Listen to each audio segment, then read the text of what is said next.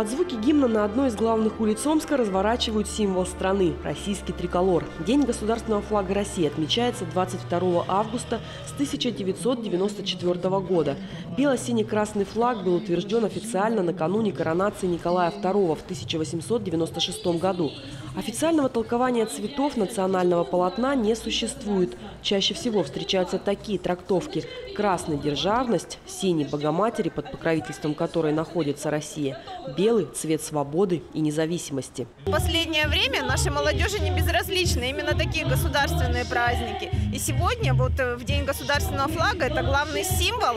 А, мы не просто проводим это мероприятие для молодежи, э, там, для детей, для каких-то отдельных категорий. Мы его проводим для всех, и мы видим очень большой интерес со стороны молодых семей, которые приходят с детьми, со стороны молодых людей, которые участвуют и в викторинах, и просто смотрят творческую программу, которая сегодня здесь есть, и взрослых людей, и, конечно же, ветеранов, которые тоже пришли посмотреть. Для гостей праздника организаторы провели викторину. Ответить предлагали на вопросы об истории государственной символики.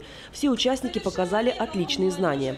Представители молодой гвардии «Единой России» презентовали книги «Дневник ветерана. Непридуманная история войны», в которой собраны истории фронтовиков. Омский областной студенческий отряд провел акцию «А как ты любишь Россию?».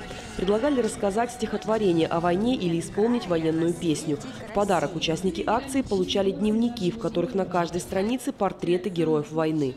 На Чеканова-Лиханова развернулась передвижная выставка «Все для фронта, все для победы». Было приятно видеть улыбки людей, было приятно, ну, то есть также в ходе мероприятия мы раздавали флажки Российской Федерации, чтобы рассказать, как бы, что сегодня день флага, потому что праздник достаточно молодой и мало кто о нем знает.